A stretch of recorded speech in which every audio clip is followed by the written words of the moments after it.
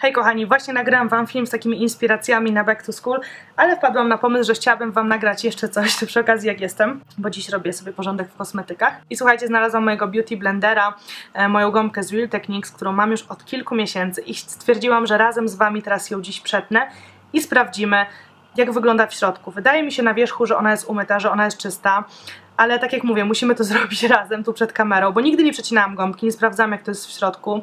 E, to jest gąbka, której używam najdłużej, a tutaj mam już nową, także zaraz sobie też je porównamy. No nic, jestem bardzo ciekawa właśnie jak bardzo domyta jest ta gąbka, czy to jest w ogóle higieniczne.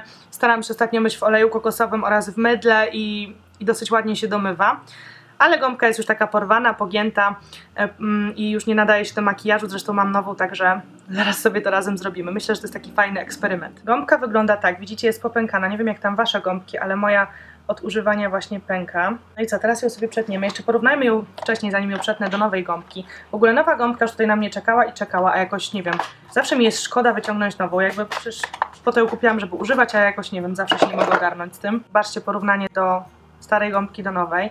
Ta nowa jest w ogóle o wiele cieńsza. Wprawdzie ta już była wiele razy używana. Zobaczcie, jaka jest zużyta i jaki ma kolor. Niby ten sam kolor, ale ten jest bardziej żywy.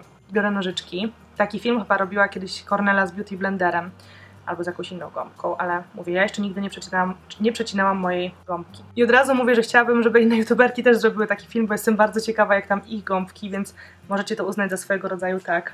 Okej, okay.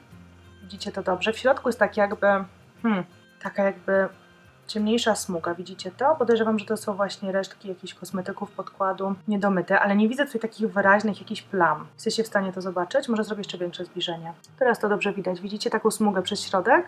Ale nie widzę tutaj takiego, wiecie, brudu, żeby tutaj coś wypływało, żeby coś się tu przykleiło. Nie ma tu nic konkretnego. Przetnę sobie jeszcze to na pół. Tak to wygląda w przekroju. Nie no, moim zdaniem gąbka jest czysta. Jestem w szoku, bo używam jej, słuchajcie, dobrych kilka miesięcy. Miałam ją teraz ze sobą w Holandii.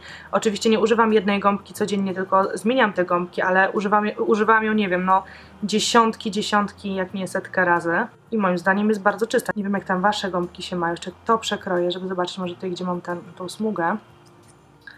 Ale ta ma się jakoś zadziwiająco dobrze. Tu właśnie była ta smuga. Jak widać, nic tu nie ma. Jestem po prostu, słuchajcie, jestem w głębokim szoku że to jest po prostu wszystko w środku czyste. Zupełnie nie ma zapachu.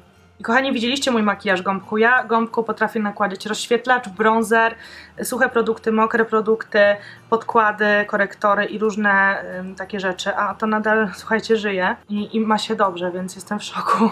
Jestem naprawdę w głębokim szoku. Nawet nie chcę tego wyrzucać, chyba zostawię to sobie, wiecie, do ozdabiania paznokci, na przykład tak jak mam tu dziś brokatem. Super sprawa, jestem w ogromnym szoku. Przyrzekam wam, byłam przekonana, że tutaj będzie jakiś syf w środku, w sensie no jakieś ślady chociaż po podkładzie.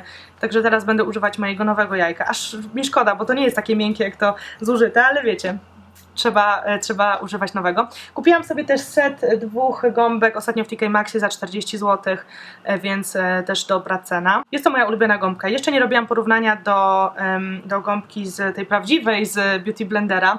Leży mi w szafce, jakoś boję się jej, słuchajcie, użyć. Nie wiem, co jest ze mną nie tak, szkoda mi jej, czeka na lepsze czasy czy cokolwiek ale obiecuję, że jej użyję i zrobimy sobie porównanie tych dwóch gąbek właśnie moich ulubionych. Nie chcę porównywać takich bardzo tanich gąbek, takich chińskich, wiecie, za dolara, no bo one się niestety nie sprawdzają.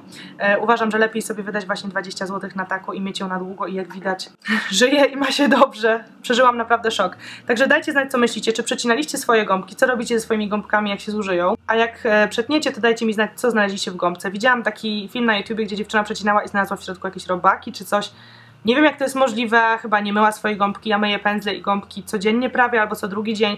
Nie wyobrażam sobie po prostu, żeby tam był jakiś, wiecie, żeby był na tym jakiś widoczny brud. Także dajcie mi znać, e, co o tym sądzicie, a zapraszam inne youtuberki do przecięcia swoich gąbek i pokazania, co one tam kryją. Może, może coś więcej niż u mnie, ale jestem w ogromnym szoku. Także zostawcie kciuki do góry, jeżeli ten krótki film Wam się podobał i widzimy się w kolejnym filmie. Pa, pa!